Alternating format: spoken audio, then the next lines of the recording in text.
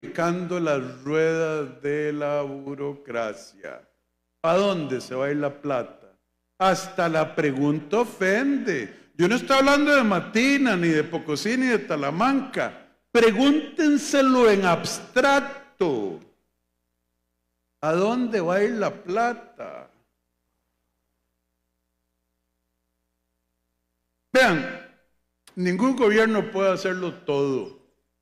Nuestra constitución está diseñada y nuestras leyes para que el gobierno no lo pueda hacer todo. De hecho, a través de los años, cada vez el gobierno puede hacer menos. Está bien. Se llama separación de poderes en un caso. En otro, en otro caso se llama amárrelos para que no trabajen. Pero esa es la realidad de nuestro país. Entonces, ¿qué hace este gobierno?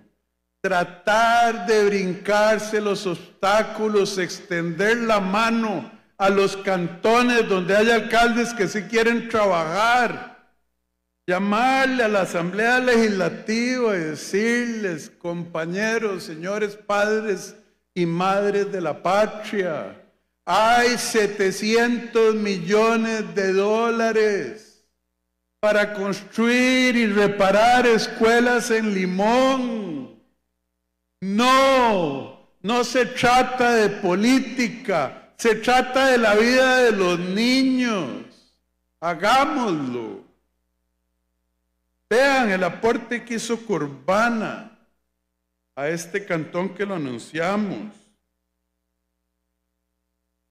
Vean la inversión de 1.400 millones de pesos que efectuaron durante el primer trimestre de este año en vías y protección de márgenes de ríos para que no se nos inunde. Matina, me queda clarísimo que este es uno de los lugares donde el índice de desarrollo humano está peor en este país. Y por eso, esta es la primera vez que viene un presidente. Y si ustedes me invitan, el año entrante me comprometo a venir a rendirles cuentas otra vez otra vez. Y señor alcalde, don Walter, el año pasado nos reunimos y usted me mandó así la lista de cosas. No me las pidió porque un alcalde de un pueblo como Matina no ruega. Me dijo, sería bueno que hiciéramos esto.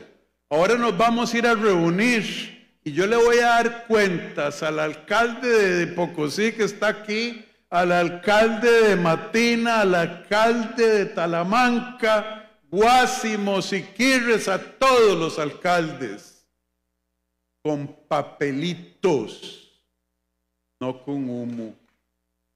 Y vamos a ver cada promesa que hicimos el año pasado y vamos a ver en qué nos ponemos de acuerdo este año para volver el 31 de agosto del año entrante a rendirle cuentas, no a esos alcaldes, no, a todo el pueblo de esta bendita provincia, cantón y distrito, al pueblo de Costa Rica, donde nos olvidamos hoy del olvido y abandonamos el abandono. Acuérdense, yo trabajo para ustedes. Ustedes son mis jefes y el jefe de cada uno de ellos. Matina.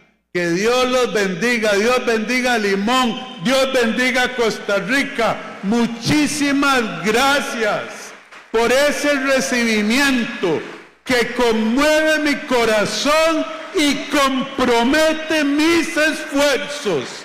Hasta luego, hasta siempre, gracias.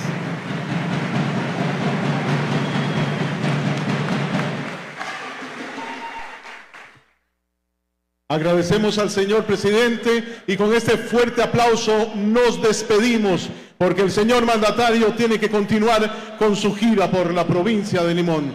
A todos y todas, muchísimas gracias. Señor presidente, gracias por estar con nosotros. Nos tenemos que ir porque hay que cumplir con más de la apretada agenda del mandatario. A todos y todas, muy...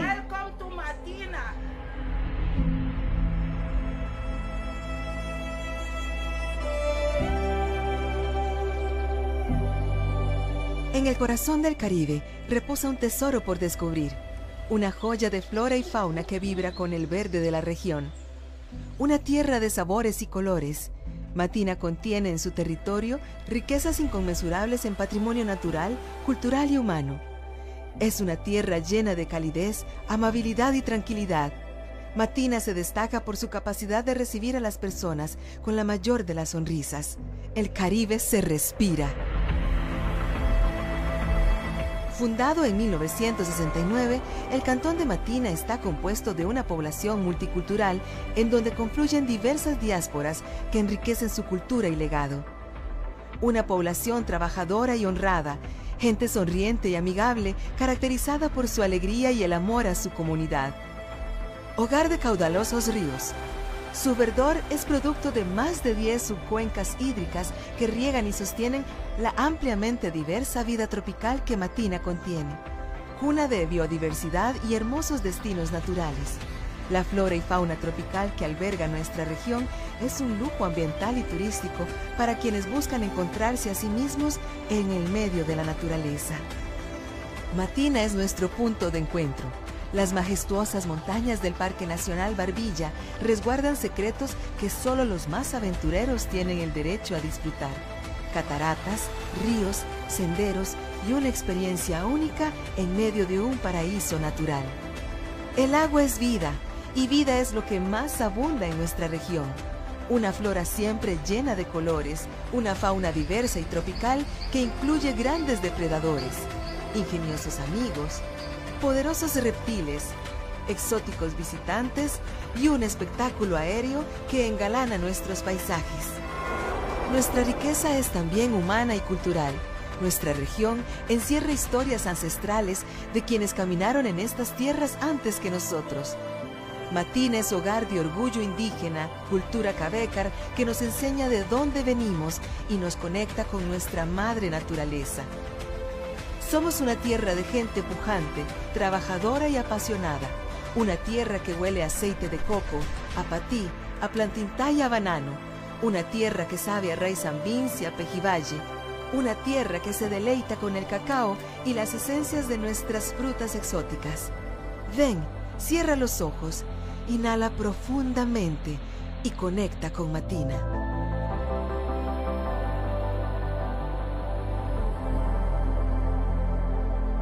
Matina, tierra de inspiración.